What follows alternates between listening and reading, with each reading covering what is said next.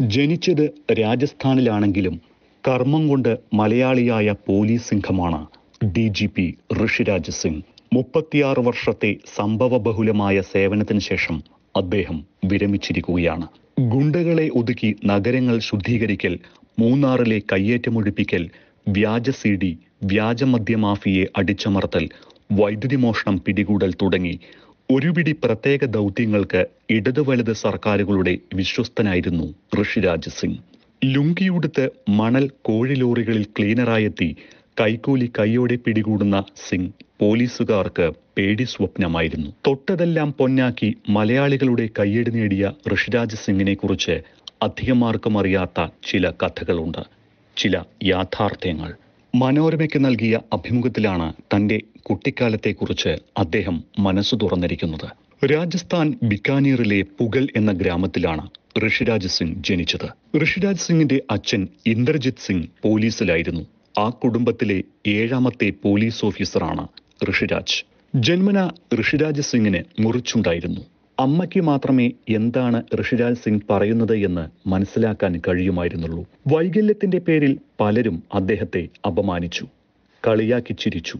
വിക്കി വിക്കി പറയുമ്പോൾ ക്ലാസ്സിൽ കൂട്ടച്ചിരി മുഴങ്ങും. പക്ഷേ തോൽക്കാൻ ഋഷിരാജ് സിംഗ് തയ്യാറായില്ല. ഋഷിരാജ് സിംഗിന്റെ നാട്ടിൽ മുറിച്ചുണ്ടു മാറ്റാനുള്ള ചികിത്സാ സൗകര്യങ്ങൾ ഇല്ലായിരുന്നു. പതിനെട്ടാം വയസ്സിൽ അമ്മാവൻ ഡോക്ടർ കുമാർ സിംഗാണ് ചണ്ഡീഗഡിലെ ആശുപത്രിയിൽ കൊണ്ടുപോകുന്നത്. പല തടസ്സങ്ങളും ആശുപത്രി അധികൃതർ പറഞ്ഞു. ശസ്ത്രക്രിയക്കിടെ മരിച്ചാലും കുഴപ്പമില്ല.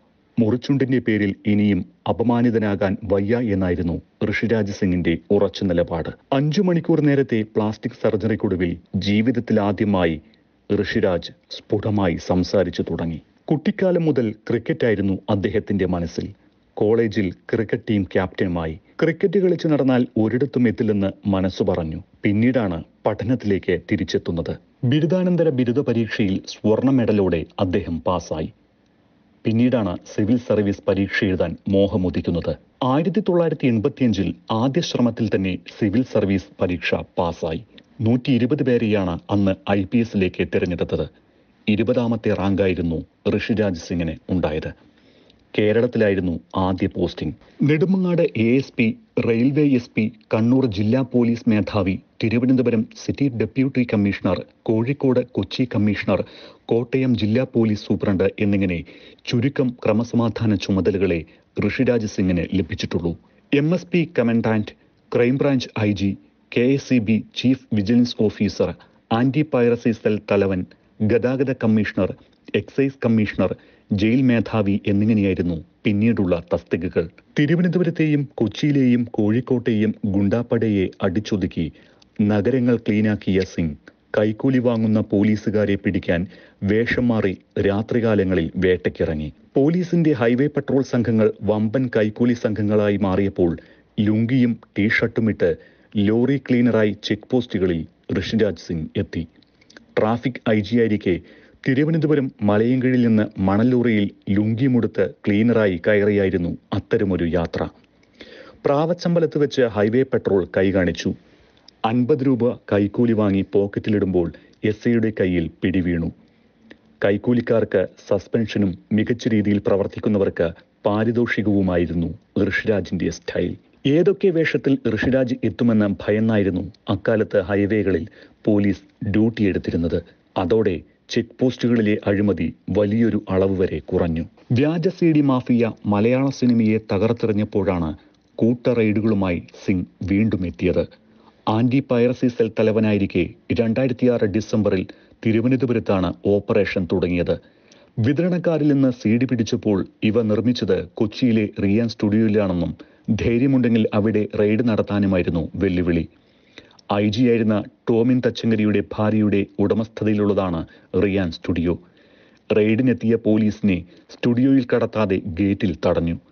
വ്യാജ സി ഡി റെയ്ഡിൽ നിന്ന് പിന്മാറാൻ D G P Raman Srivastava ആവശ്യപ്പെട്ടിട്ടും Singh വഴങ്ങിയില്ല. രേഖാമൂലം എഴുതിത്തരാനായിരുന്നു മറുപടി. തൊട്ടുപിന്നാലെ ആന്റി പൈറസി സെല്ലിൽ നിന്ന് സിംഗിനെ ഒഴിവാക്കി ഡി ജി പി ഉത്തരവിറക്കി.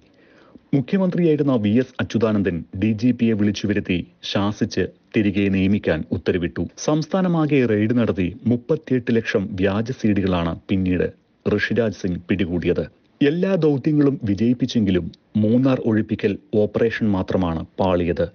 മൂന്നാർ ഒഴിപ്പിക്കലിന് പോയ പൂച്ചകളിൽ ഒരാളായിരുന്നു ഋഷിരാജ് സിംഗ്. കെ സുരേഷ് കുമാർ രാജു നാരായണ സ്വാമി എന്നിവരായിരുന്നു ദൗത്യസംഘത്തിലെ മറ്റുള്ളവർ. സി പി ഐ ഓഫീസ് പോലും ഇടിച്ചു നിരത്തി മുന്നേറിയ സംഘത്തിന് പിന്നീട് മൂക്കുകയർ വീണു. പാർട്ടിയിൽ നിന്നും മുന്നണിയിൽ നിന്നും സമ്മർദ്ദമുണ്ടായതോടെ മൂന്നാർ ഓപ്പറേഷൻ വഴിയിൽ നിലച്ചു. ഏറ്റെടുത്ത ദൗത്യങ്ങളൊന്നും ഋഷിരാജ് മോശമാക്കിയിട്ടില്ല. എഴുന്നൂറ് കോടിയുടെ വൈദ്യുതി മോഷണം പിടികൂടി. എക്സൈസ് കമ്മീഷണറായിരിക്കെ മൂവായിരം കോടിയുടെ മയക്കുമരുന്ന് പിടിച്ചു. ഏഷ്യയിലാദ്യമായി എല്ലാ ജില്ലകളിലും ലഹരി വിരുദ്ധ കേന്ദ്രങ്ങൾ തുറന്നു. ചപ്പാത്തിയും കോഴിക്കറിയും ഉണ്ടാക്കിയിരുന്ന ജയിലുകളിൽ ബ്യൂട്ടി പാർലറും വർക്ക്ഷോപ്പും പെട്രോൾ പമ്പും സ്റ്റുഡിയോയും തുറന്ന് തടവുകാർക്ക് പുനരധിവാസമൊരുക്കി. ഗതാഗത കമ്മീഷണറായിരിക്കെ കണ്ണുരുട്ടിയും പിഴയിട്ടും ഹെൽമറ്റും സീറ്റ് ബെൽറ്റും ശീലമാക്കി. പോലീസിൽ കൊമ്പൻ മീശക്കാർ ഏറെയുണ്ടെങ്കിലും ഋഷിരാജിന്റെ അഴകുള്ള മീശയാണ് ഹിറ്റായത്. മദ്യപാനമില്ല പുകവലിയില്ല. കിലോമീറ്ററുകളോളം സൈക്കിൾ ചവിട്ടലും ജിമ്മിലെ വർക്കൗട്ടുമൊക്കെയാണ് ഋഷിരാജ് സിംഗിന്റെ ആരോഗ്യത്തിന്റെ രഹസ്യം.